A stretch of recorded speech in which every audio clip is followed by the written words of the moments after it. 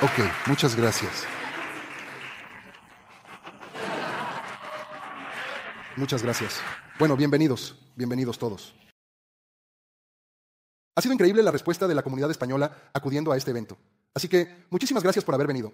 Muchísimas gracias.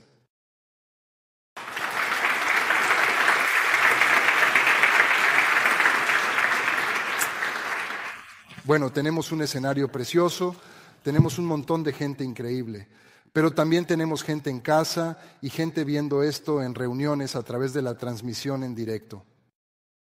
Así que os voy a pedir un aplauso por toda vuestra contribución, porque esto solo puede ser posible gracias a vosotros. Así que gracias por venir.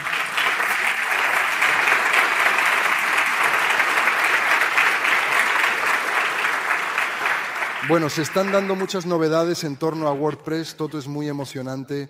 2024 va a ser un año muy interesante. Y por cierto, para la gente que no me conozca, me llamo José Ramón, Moncho Mon. Soy el responsable de comunidades hispanas y crecimiento en Automatic. Y bueno, este es un día muy especial porque estamos muy orgullosos de estar en el grupo de ciudades que han acogido este evento, el State of the World.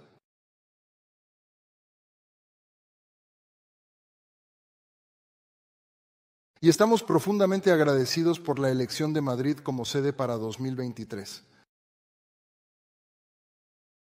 Muchas gracias por esta decisión. Muchas gracias. Muchas gracias. ¿Qué más? Bueno, vamos a empezar con las preguntas y respuestas. Este año vamos a hacer algo especial para la gente que está aquí en el evento, para la gente que está viéndolo por televisión y en las transmisiones en directo en reuniones. Vamos a utilizar una aplicación, una herramienta llamada Slido. Puedes empezar escaneando este código QR. Funciona de una forma muy sencilla. Escanea el código. Si tienes algún problema para escanear el código, también tienes esta URL y el código. Y a partir de ese momento puedes empezar a enviar tus preguntas. Ten en cuenta que esperamos una gran audiencia en español. También puede enviarlas en español, no solo en inglés. Siéntete libre de hacerlo y habrá un moderador, un organizador, un grupo de personas que se va a encargar de recibir y filtrar las preguntas. Esperamos preguntas valiosas, de verdad. Lo que quieras preguntar, pero con sentido. Bien, empecemos. Vayamos a la primera pregunta. Para empezar, estoy esperando a que lleguen las primeras preguntas. ¿Podemos mover la diapositiva a la siguiente? Así que, correcto. Necesitamos la música de Jeopardy. Necesitamos música de fondo. Esto va rápido. Vamos a ver, bueno, podemos, puedo empezar por aquí arriba. Bueno, ¿cuál preferís? Creo que... Se están votando, la gente está votando. Así que los de arriba son los más votados. Sí, estos son los que hemos recibido y ya están moderados. Entonces, ¿qué pasa con la pregunta de Colin?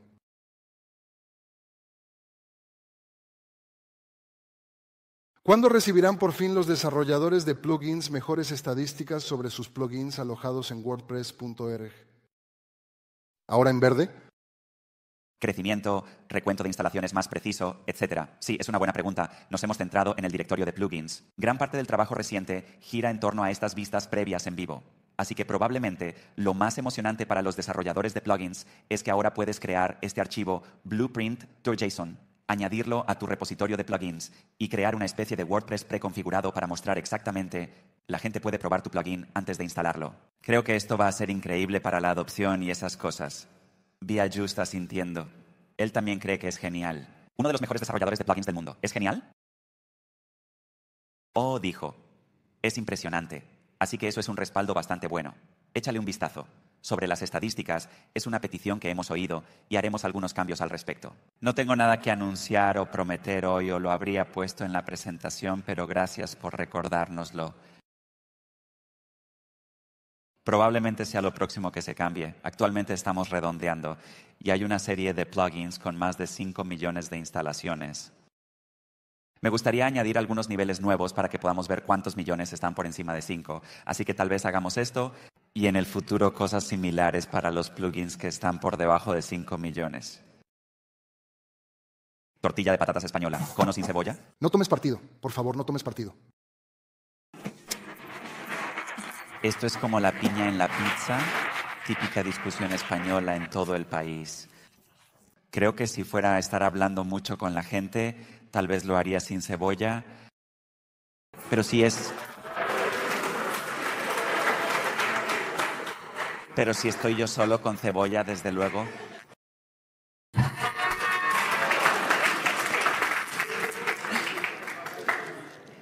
Bien, vamos con la siguiente.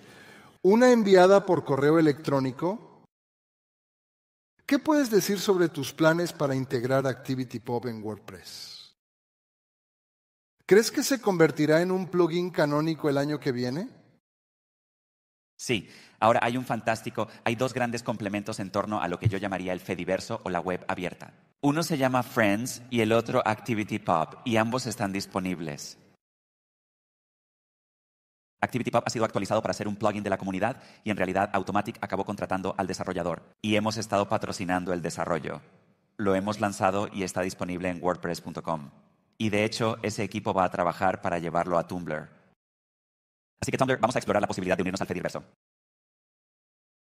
¿Será un plugin canónico? Para mí los plugins canónicos son más para cosas que sentimos que están realmente en el camino crítico. Ser un plugin comunitario significa que está en la taxonomía de plugins. Significa que, en cierto modo, pertenece a todos. Nunca tendrá versión pro ni comercial y el mantenimiento puede compartirse, está abierto a contribuciones.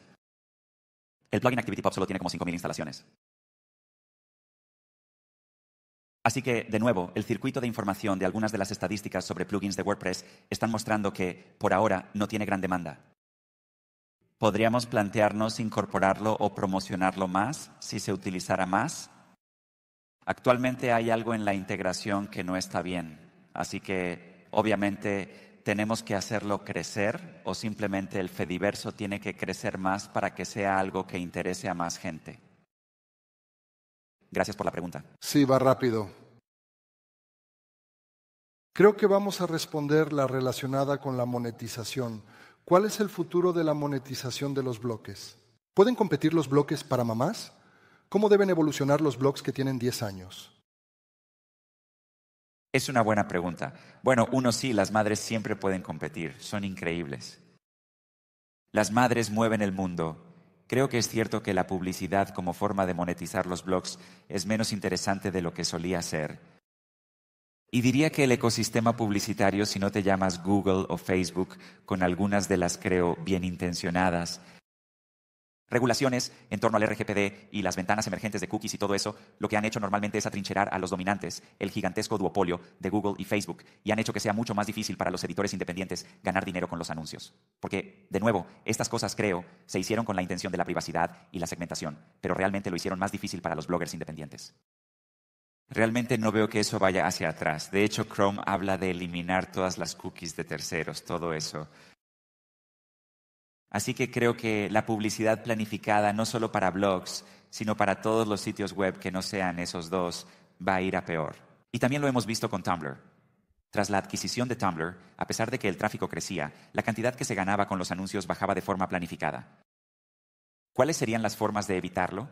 En primer lugar, lo que nunca pasa de moda es desarrollar una audiencia y, sobre todo, una relación directa con ella haz que se suscriban vía RSS, vía correo electrónico.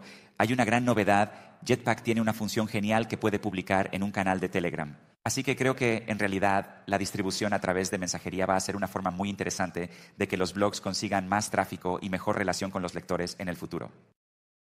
Desarrollar esa audiencia es lo primero y lo más importante. Y lo que nunca pasará de moda es crear gran contenido. Eso significa compartir, ser auténtico, ser vulnerable, compartir tu historia, crear cosas que sean interesantes para ambos. Y si haces eso, creo que tendrás una audiencia. Una vez que tienes esa audiencia, creo que hay otras formas de monetizar. Por ejemplo, podrías venderles cosas como una camiseta o algo así.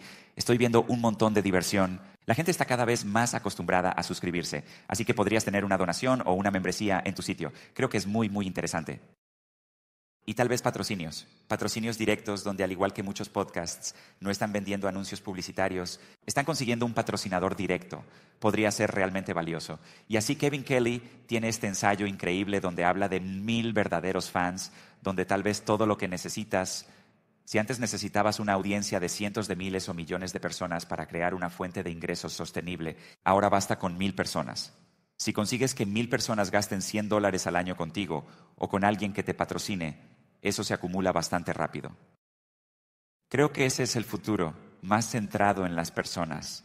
No se trata de obtener millones de visitas de personas desconocidas.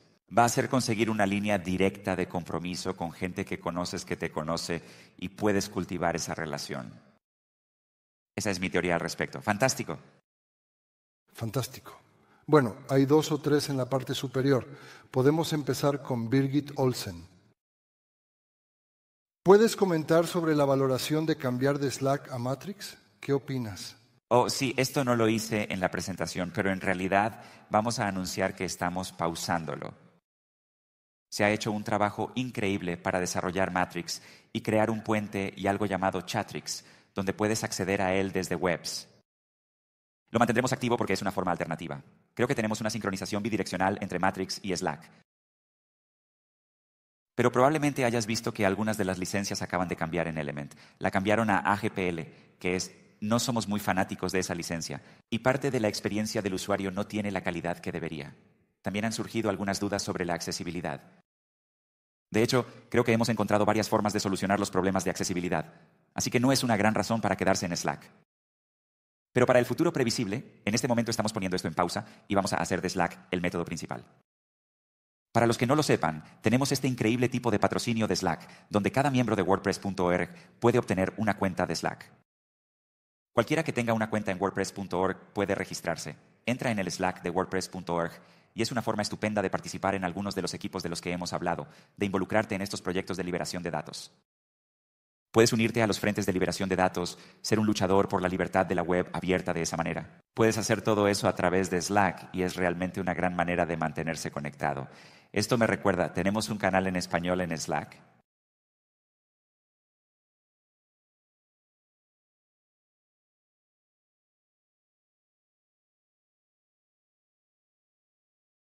Sí, dijo que tienen una versión local, una versión gratuita separada. No deberías necesitarlo. Algo que podemos hacer es crear canales oficiales para las distintas comunidades lingüísticas en el Slack oficial.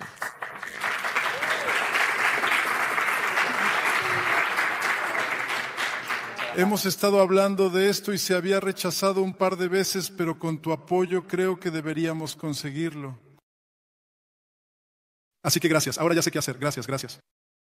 Impresionante, sí. En el Slack gratuito pierdes el historial, no tiene funcionalidades, pierdes un montón de cosas, no hay razón para tener uno separado. Así que te pido disculpas si te has quedado atascado en algo. Pero el State of the Word y las preguntas y respuestas son una forma estupenda de solucionarlo. Gracias por hacer buenas preguntas. Bueno, vamos a responder a esto porque está en el podio de las últimas preguntas desde el principio, de Moses Sebugufu.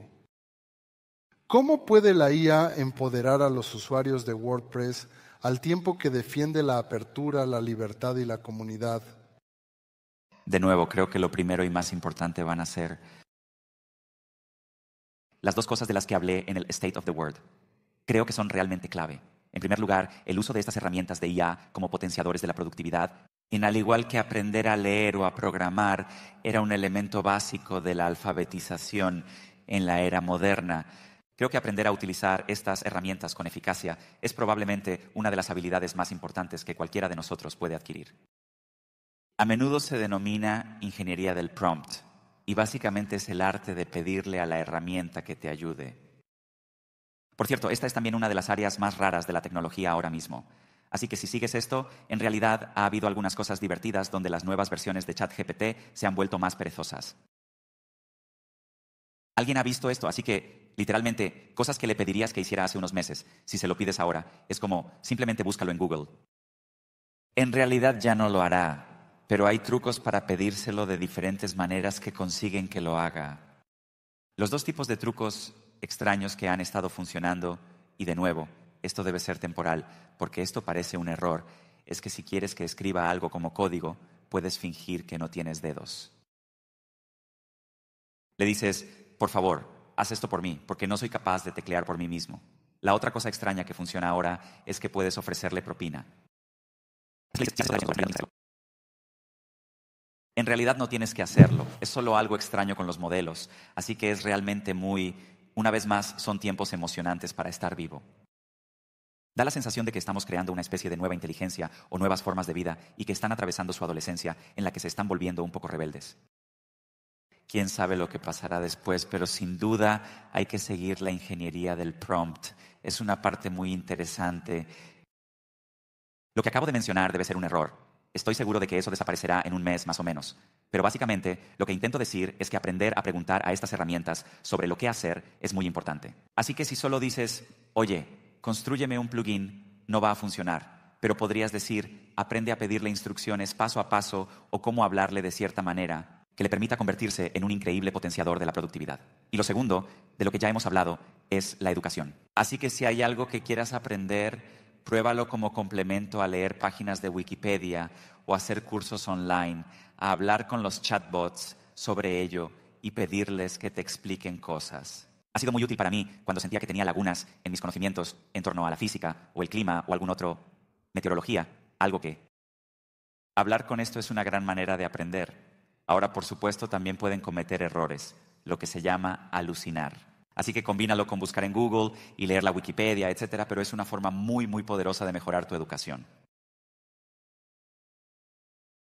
Muchas gracias. Mijail de Nitropac, gran presentación. ¿Crees que Gutenberg y la liberación de datos son dos de las formas de pasar del 43% al 85% de cuota de mercado? ¿Qué más va a incrementar la adopción? Creo que la liberación de datos es clave para hacer crecer la cuota de mercado. Y así, ahora sucedieron algunas cosas. Nuestra cuota de mercado se ralentizó el año pasado. El 43% está subiendo.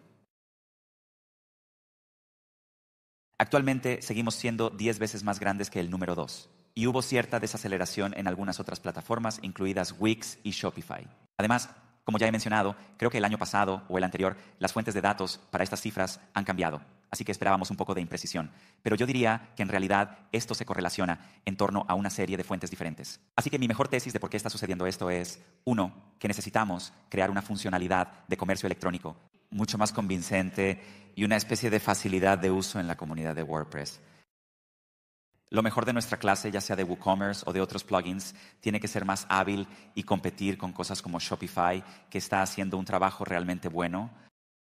Y dos, sobre lo que he hablado de la fricción. Así que todas estas herramientas ha habido mucha fricción para moverse entre los sistemas. Incluso dentro de WordPress, como ya he dicho, no tenemos una herramienta de migración masiva para pasar de posts clásicos a bloques. Tienes que hacerlo uno a uno cuando lo cargas para que sea nativo de Gutenberg. Y así, básicamente maneras de tomar cada constructor de bloques o cada cosa por ahí y convertirlo en bloques de Gutenberg. Gutenberg ahora soporta prácticamente todo. Mientras hacemos eso, también atacamos a cualquier sitio web o HTML arbitrario y lo convertimos en bloques. Hoy en día no hay casi nada que no se pueda construir con bloques. Así que crear rutas de migración de todo a bloques va a ser muy, muy potente. Y lo mejor es que una vez que está en los bloques de WordPress, hay un millón de formas de sacarlo a otros sistemas. Tenemos la API REST, la API XML RPC, tendremos exportaciones, tendremos los plugins GraphQL, hay muchas maneras diferentes. Así que, de nuevo, creo que si podemos conseguir estas cosas en WordPress, será increíble para el tipo de aumento de la portabilidad de datos para llevarlos donde quieres que vayan. Y creo que WordPress como almacén de datos es también probablemente el que tiene más legitimidad y posibilidades de ser algo que tenga un buen soporte durante décadas. Por eso creo que es muy importante. Vale, tenemos unos cuantos. Puedo leer algunos de estos. Está bien. ¿Qué te gustaría comer, beber en WordCamp Asia 2024 del equipo local? Creo que hay un tipo de fideos en tiras que es realmente increíble en Taiwán, algo así como fideos con ternera. No sé ni cómo se llama, pero cuando lo he probado en restaurantes ha sido increíble. Me encantan las sopas. Así que tal vez cosas como sopa de fideos. Me encantaría. ¿Planes para sacar a Automatic a bolsa en el futuro? Nada que anunciar, obviamente. Creo que solo ha habido como dos OPIs en el último año. Por lo tanto, sería genial tener una manera para que más personas participen en la propiedad de Automatic, pero eso no es realmente algo para lo que creo que los mercados están realmente preparados en este momento. Esta no es una pregunta agradable, pero dice que esta empresa está haciendo un montón de cosas turbias, como instalaciones automáticas, recolección de datos. ¿Por qué WordPress no toma medidas al respecto? Bueno, uno, yo diría que no es justo decir que no se están produciendo cambios. Y he visto que Awesome Motive ya ha actualizado varios plugins para revertir algunos cambios que podrían haber sido un poco agresivos y también han recibido algunos comentarios al respecto. Siempre estamos evolucionando las directrices de los plugins. Creo que una de las cosas que tiene que ver con el crecimiento del equipo de revisión de plugins es que tenemos nuestras normas, pero hay muchas cosas que pueden no estar cubiertas por una norma específica, pero que nos parecen una buena práctica y queremos fomentar en el directorio de plugins en el futuro. Tenemos muchas herramientas en torno a la clasificación u otras cosas que podemos hacer para ayudar a los desarrolladores de plugins a adoptar las mejores prácticas de experiencia de usuario. Así que no creo que sea justo llamar a esta empresa en particular. Hay toneladas de plugins haciendo esto, incluyendo Jetpack, que creo que hizo algunas cosas que creo que eran, por ejemplo, poner avisos en las páginas que no son de un plugin. Creo que vamos a revertir eso. Así que ahora los plugins pueden añadir avisos a cualquier página. Creo que en el futuro vamos a decir como puedes agregar avisos a tu propia página que tiene tu plugin, pero solo añadirlos a otras páginas de WordPress o a páginas de otros plugins es algo inviable. Así que de nuevo, algo bien intencionado. Recuerdo la primera vez que se creó este gancho para el aviso en el administrador, pero es evidente que en los últimos 20 o 15 años se ha abusado de él. Así que creo que podemos actualizar las directrices, también dar a los desarrolladores de plugins la oportunidad de comentar sobre esto, porque tal vez esos avisos están siendo impulsados por una necesidad real, porque necesitan que la gente termine de configurar el plugin o necesitan gestionar algo. Una cosa que estoy viendo mucho es gente pidiendo reseñas en estos avisos. Bueno, tal vez hay una manera diferente de poder resolver eso. Así que creo que no solo debemos decir, hey, no hagas esto. En realidad debemos mirar a la necesidad fundamental de por qué los plugins sienten la necesidad de hacer esto. Tal vez hay una manera más limpia de gestionarlo. Por ejemplo, los plugins necesitan más revisiones. ¿Por qué? porque normalmente las personas que se sienten atraídas por las reseñas son las personas descontentas. Un plugin puede tener millones de usuarios satisfechos que no se toman la molestia de hacer una revisión. Así que, ¿cómo podemos hacer que los usuarios satisfechos aporten su valoración de una forma más fácil? ¿Obtienes una visión más equilibrada en las puntuaciones por estrellas de los plugins sobre cómo es un plugin en realidad? Así que tal vez podamos incorporarlo en el administrador de WP podrías hacer una valoración por estrellas. Quizás si haces clic en actualizar en un plugin, te invite a revisarlo si lo deseas y podamos vincularlo a tu perfil de wordpress.org. No hay ninguna razón por la que no podamos registrar tu perfil de wordpress.org en tu administrador de WP para que podamos vincularlo a tus favoritos y otras cosas en wordpress.org, pero también sabemos lo que ya has revisado. Si un plugin rompe tu sitio, tal vez te invitemos a revisarlo entonces. No lo sé. Todas estas son nuestras opciones y formas de ver una necesidad fundamental. No solo decir, no, no debemos tener estos avisos. Así es como pienso de esto de cara al futuro. Dos preguntas sobre el multidioma. ¿Qué te parece? ¿Recibirán los multisitios algo de amor en la fase 4? Creo que dijiste algo en la presentación. Sí, he hablado de multidioma, no de multisitio. El multisitio está en marcha, está siendo desarrollado como parte de WordPress, por lo que recibe un poco de amor en, literalmente, cada versión de WordPress. Mi apoyo al equipo multisitio. Será interesante, a medida que nos acerquemos a la implementación del multidioma nativo, ver cómo decidimos hacer esa estructura de datos y si decidimos implementarla a través de algo como el multisitio o ampliamos las tablas integradas de WordPress. Por determinar, es una de las cosas de las que aún no estamos seguros y que exploraremos antes de entrar en la cuarta fase. ¿Considerarías apoyar a Mastodon en lugar de X? ¿Esto lleva aquí un tiempo? Sí, en realidad tengo una cuenta de Mastodon. Creo que soy Photomat en Mastodon Social. Debería haberlo mencionado. Además, lo digo porque la gente pensó que era alguien haciéndose pasar por mí. Así que no lo es, soy yo de verdad. Tengo imitadores en línea, pero este no es uno de ellos. Ese en realidad soy yo, y ahora lo sabes con seguridad. Y así que sí, definitivamente podemos... No sé si tenemos una cuenta de WordPress en Mastodon, pero definitivamente podemos hacer eso si no lo hemos hecho ya. Bien. Hay otra pregunta. Sí, esta es buena. Algo sobre sitios web localizados, tal vez automáticamente con IA, y facilitar la gestión de un sitio web multilingüe. Es cierto, quiero decir, estas herramientas de IA en este momento se ejecutan normalmente en la nube, así que algo así sería un poco difícil de soportar de forma nativa en WordPress. Hay algunos de código abierto muy interesantes, pero no creo que vayan a ser fáciles de ejecutar en entornos de alojamiento compartido. Lo que es mucho más potente cuando piensas en la IA de código abierto u otras cosas es ejecutarla localmente en tu dispositivo. Todos tenemos en el bolsillo estos aparatos que tienen una potencia de cálculo mil veces superior a la del ordenador que puso al hombre en la luna. Y en nuestros ordenadores de sobremesa están creciendo, los chips son cada vez más rápidos, todo en nuestros dispositivos locales. Creo que vamos a ver más de este procesamiento en el borde. En realidad he estado pensando mucho en esto con la forma en la que hacemos la creación de miniaturas y esas cosas en WordPress o convertir entre formatos de archivo. ¿Hay alguna forma de hacer eso en el navegador antes de subirlo? Tal vez podríamos ejecutar algo de este procesado en tu equipo. Creo que sería muy, muy, muy interesante. Creo que sería muy, muy, muy interesante. Y cosas como Playground crean entornos para eso. Y lo increíble que sería para todos los alojamientos en el mundo, que si estás generando mil nuevas miniaturas, simplemente podrías ejecutar algo en tu ordenador durante cinco minutos en lugar de saturar el servidor. O conseguir que tu cuenta acabe bloqueada. Así que, de nuevo, esto es solo una forma, creo, de que se produzca más computación en el borde.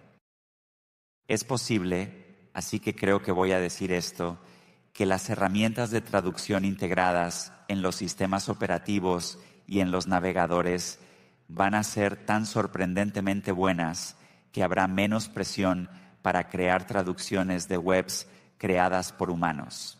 No creo que desaparezca en absoluto. Y hay muchos lugares donde puede haber regulaciones nacionales o algo así, o una empresa puede querer crear una web traducido a mano.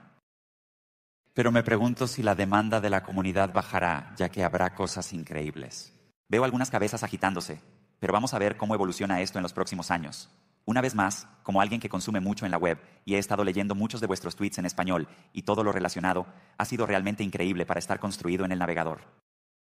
Puedo hacer clic en traducir en iOS y obtener traducciones increíbles en tiempo real. Me pregunto si el hecho de integrarlo en el sistema operativo o en la capa del navegador hará que la web sea mucho más accesible para todos y si podrá hacerse en paralelo a lo que estamos haciendo en el núcleo. Bueno, están las tres. Genial. ¿Queremos que sean las tres últimas? ¿Cómo vamos de tiempo? Sí, probablemente. Sí. Al menos una más de José Arcos, por ejemplo. En el último año algunas personas han abandonado o reducido su contribución. ¿Cuáles son los planes para proteger a los contribuidores a largo plazo y hacer que se sientan seguros? Ah, sí, sí. Voy a escoger estas. Temas de pago, información sobre las finanzas de Automatic y WP Tavern. Estas son las nuevas, pero son muy rápidas, así que... Bien. Sí, para Automatic estamos construyendo la empresa a largo plazo. Así que estoy feliz de decir que estamos bendecidos con grandes inversores y construyendo un gran negocio a través de suscriptores. Así que esperamos poder seguir creando cosas que sean valiosas para la gente y tener un modelo de suscripción que crezca. Y estamos contratando, estamos entusiasmados con el crecimiento de la empresa y sí, no tengo ningún problema existencial allí. Esta pregunta es sobre WP Tavern. Esto es verdad. Esto es algo que es culpa mía. Así que voy a contratar a dos nuevos escritores para WP Tavern. Para aquellos que no lo sepan, WP Tavern es una especie de gran sitio web comunitario sin patrocinios, ni anuncios, ni nada. Ha dado una gran cobertura a vuestra comunidad WordPress. Sarah Gooding, una escritora en este sitio durante los últimos 10 años, acaba de dejar el sitio. Deja unos zapatos muy grandes que llenar. Así que vamos a contratar a dos escritores y ha habido muchas solicitudes. Es mi culpa. La preparación para el State of the World la semana pasada tuve dos reuniones de la Junta, di una charla y todo este tipo de cosas. Llevo un poco de retraso. Pero estudiaré esas solicitudes e invitaré a algunas de esas personas a crear algunas entradas, como si fueran autónomos. Y elegiremos a los dos nuevos escritores de WP Tavern. Así que estate atento en el nuevo año. Una de José Arcos. Gracias. A mí también me gustaría crear algunas traducciones de WP Tavern, así que creo que eso también podría estar muy bien. Esta en la parte inferior. ¿Es WordPress headless una buena opción? Creo que este es un tema en el que la gente está interesada, porque el resto son los mismos. ¿Es WordPress headless una buena opción? Bueno, uno, me gusta llamarlo desacoplado. Headless suena un poco raro, ¿verdad? Creo que puede ser una buena opción con determinados tipos de limitaciones. Como hemos visto con la API de interactividad y este tipo de web de demostración, una característica interesante es que puede reproducir el vídeo en la esquina y a medida que se navega por las páginas, no se recarga la página para que el vídeo siga reproduciéndose. Esa es en realidad una gran razón para hacer un enfoque más desacoplado y tener una especie de aplicación más basada en JavaScript, hablando con una API para obtener el contenido. Dicho esto, creo que muchas de las empresas del sector Jamstack o Headless han exagerado sus ventajas. Hay un montón de maneras en las que puede introducir una gran complejidad y en algunos casos incluso peor rendimiento que simplemente servir un archivo PHP o lo que ahora están llamando renderizado del lado del servidor, como la gran novedad en algunos de estos entornos. Eso está integrado en el funcionamiento de PHP. Y estamos viendo que con las mejoras en el procesamiento de PHP y el alojamiento y todo lo demás, un tema básico de WordPress con WordPress puede tener un rendimiento increíble. Algunos de esos sitios de los que hablé que están sirviendo un gran número de páginas, en realidad solo están ejecutando eso, esa arquitectura más integrada frente a la creación de algo donde tienes un montón de diferentes servicios o piezas y aplicaciones que hablan entre sí. Todo esto va dirigido a las necesidades del cliente, a las necesidades de su web y a las necesidades de tus usuarios. Yo diría que si lo estás planteando desde ese punto de vista, hay muchas maneras de construirlo. Y WordPress va a ser compatible con todas ellas. Queremos ser la herramienta más flexible para todos los desarrolladores, agencias, etc. Voy a tener mis propias opiniones acerca de cuándo se debe hacer esto o no, pero yo tampoco estoy construyendo sitios web todos los días. Así que una agencia o alguien más podría entender algo acerca de su cliente o de su flujo de trabajo sobre cómo quieren construirlo. Así que vamos a apoyarlo todo. ¿Cuál es tu bloque favorito de WordPress? ¿Tienes alguno? Sí, el bloque de poesía. Creo que lo llamamos el bloque de prosa. ¿Verso? Sí. Bueno, es básicamente para poesía o prosa. Y es un bloque que conserva el espacio en blanco. Muchos grandes poetas a lo largo de los años, como E. E. Cummings y otros, escriben poesía en la que el espaciado y la disposición son realmente importantes. Así que tenemos un bloque para eso. Hablas de la ubicación de WordCamp US, pero ¿tienes alguna pista sobre las fechas? ¿Hay algo en mente? ¿Septiembre qué? Mediados de septiembre, creo que del 16 al 19. Y creo que vamos a hacer dos días de contribuidor y dos días de eventos. Tenemos un sí. Y por supuesto la tortilla con cebolla o sin cebolla. Y si sabes algo en español, Matt, mi profesor de español del instituto va a ver esto más tarde y se va a llevar una gran decepción. Te voy a contar una historia divertida sobre eso. Así que en realidad puedo entender mucho español. Y eso es mi mejor amigo en Houston, René Ornelas. Su madre nos habla en español. Creciendo en Houston, en Texas, que es básicamente como el norte de México, está muy metido en la cultura. No había WordCamps Fue antes de las WordCamps, pero al principio, cuando viajaba a conferencias de blogueros, llegué a pasar unas semanas en Buenos Aires y descubrí sobre todo la lentitud con la que habla la gente allí.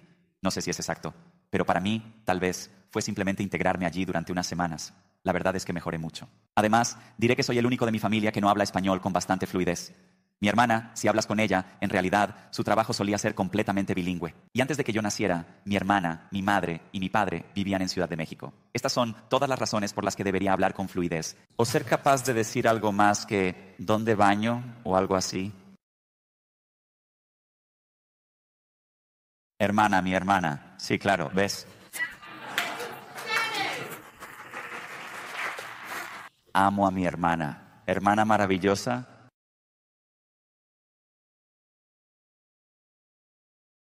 Mi hermana es maravillosa, sí, sí. ¿Dije eso? Sí, vale, genial. Así que quizás por esto no lo he aprendido. Tengo tan buenos traductores en todas partes, pero es volver al español de la escuela secundaria. Y terminaremos aquí.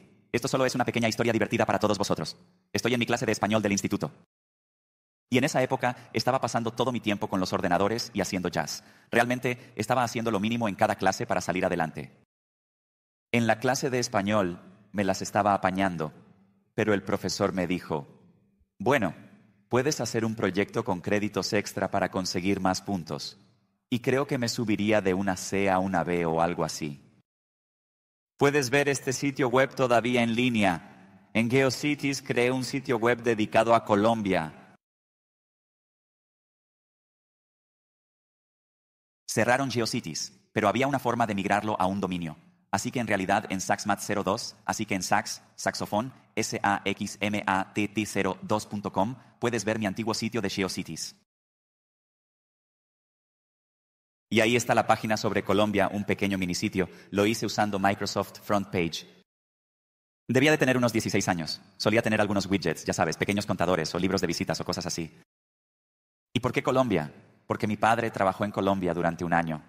El primer país que visité, fuera de Estados Unidos. Fui a Bogotá, donde pasé unas semanas, recopilé información de enciclopedias y de Internet. Creo que utilicé Microsoft Encarta, por si alguien se acuerda. Creé esta web sobre Colombia.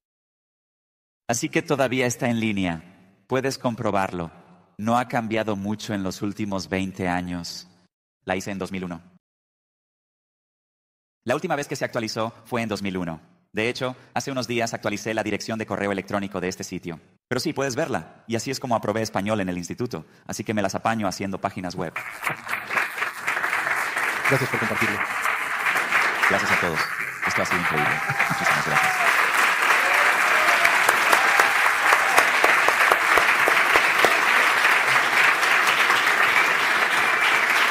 Muchas gracias. Así que el State of the World está llegando a su fin. Gracias por estar aquí. Ahora viene lo divertido porque lo siento por todos los que estáis en el streaming, pero en persona, ahora vamos a celebrarlo en persona. Así que vamos a tener un montón de diversión aquí. Y gracias a todos. Muchísimas gracias, muchísimas gracias. Oh, hubo preguntas sin responder. Así que en projects, make.wordpress.org project, vamos a responder a las preguntas que no tuvimos oportunidad de contestar aquí, excepto que sean sobre español del instituto, en cuyo caso nos las saltaremos. Pero gracias a todos. Esto ha sido increíble. Muchísimas gracias. Muchísimas gracias. Muchísimas gracias.